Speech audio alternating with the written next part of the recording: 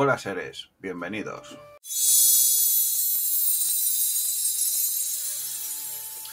Hoy quiero presentaros algo, bueno, algo distinto. Es una historia que a mí me gusta, eh, que me apasiona, el rollo de los monstruos de feria y todo eso, de la época de hace un par de siglos. Eh, con la excusa de la película de Guillermo del Toro, una nueva eh, reinterpretación de, pues, de este libro. Supongo que estará basado en el libro o en la película clásica eh, que tenemos aquí. Ahí tenemos, esta es la clásica, El Callejón de las Almas eh, Perdidas, del 47, con un Team Powers muy, muy en la cresta de la ola, que está muy bien. Es una película muy reivindicable hoy en, hoy en día, está muy chula. A, a mí es que todo lo que conlleve circo y freaks y, o circo de los horrores o cosas así, a mí siempre me ha gustado mucho. Y esta película pues mezcla lo que es eh, thriller eh, de la época, el noir, negro así, de... pero aquí no hay policíaco ni nada, es más bien de engaño y, auge y caída de... Es una historia que se puede englobar lo que es el noir y eso, pero es diferente, no, no hay... Sí que hay corrupción y gente realmente que que va a sobrevivir y todo esto, pero son de rollo mentalistas y como con sus trucos y triquiñuelas, cómo, cómo ascienden y cómo... Y está muy bien. Es una película muy entretenida para la época, a ver, es del 47 y bueno, a mí la he visto hace poco para, revisitarla y me gustó mucho. Y con estas, eh, hacía mucho tiempo que iba detrás de lo que es el libro eh, de esta, ¿cómo decirlo? Eh, de esta película, vaya, o sea, este libro eh, llevaba mucho tiempo detrás de él porque aquí no lo encontraba porque se había agotado o no lo reimprimían o no lo han reeditado. Y ahora con la excusa de que el señor del toro ha sacado una nueva versión de esta película que estábamos que estaba comentando hace un momento, ha sacado pues la nueva versión. Esta es la versión moderna de la anterior, que está basado, pues como acabo de comentar, en este libro. Pero aquí, ¿de qué hablamos? Aquí hablamos, o intento hablar de cómic. En este caso no va a ser, por eso digo que es un poco extraño y un poco distinto este vídeo, porque es porque a mí historia me apasiona y creo que era el momento de hablar un poco de ella.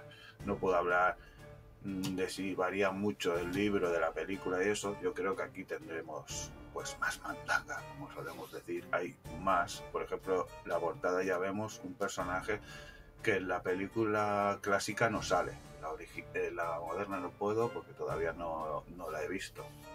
No puedo decir nada a lo mejor en Instagram en un futuro, si la veo, a lo mejor pongo si me gusta o no. Callejón de las Almas Perdidas es un clásico imprescindible para gente amante del monstruo. Yo soy muy fan, se puede deducir un poquito en todo esto. Me gusta muchísimo, pero lo que quería que vierais es esto. El cómic. Este cómic salió en el 2007 y está basado indica la novela. De la novela vamos a aquí a la, película original del 47 y en 2009 salió la novela gráfica, que es a lo que venimos aquí. Me gusta mucho estos dibujos de tinta gruesa porque te recuerda, me recuerda mucho a mí, o es la intención supongo, de esas revistas clásicas de creepy y de todo este tipo de, de revistas así más... Es, que llamarlo underground, underground es todo. general ya son freaks, es un, es un circo de freaks, de gente que está por debajo de los estándares normales y todos somos freaks. Aquí somos seres del culto. Pues mira, esto era mi recomendación, más o menos, vídeo, análisis. Aquí, pues, si veis la película y luego leéis el libro, no machaca nada, o sea, es más o menos la, la misma estructura, un mismo libro, pero, o sea, la misma historia. Eh, el desarrollo quizá cambia un poquito en los personajes, hay personajes diferentes, hay más personajes, hay otros personajes que, en la película no salen, supongo que por la época. Eh, enseñar a un señor tullido que tiene las piernas así muertas, dijéramos, por no sé cómo se llama la enfermedad al nacer, que tus piernas no crecen, se quedan como niño. Bueno, aquí sale un, una persona así que tiene el, cuerpo de hombre muy fuerte, típico enano. En la película sí que sale, pero es más por encima. Y aquí pues como que te lo, te lo retrata mucho mejor en el cómic. Y supongo que en el libro pues estará muchísimo más retratado y habrá mucha más mandanga, mucho más de esto. Y ahí estamos. Yo reivindico estas tres opciones. El, el cómic está muy bien, muy chulo. Lo llaman underground americano. Bueno, de las revistas y eso.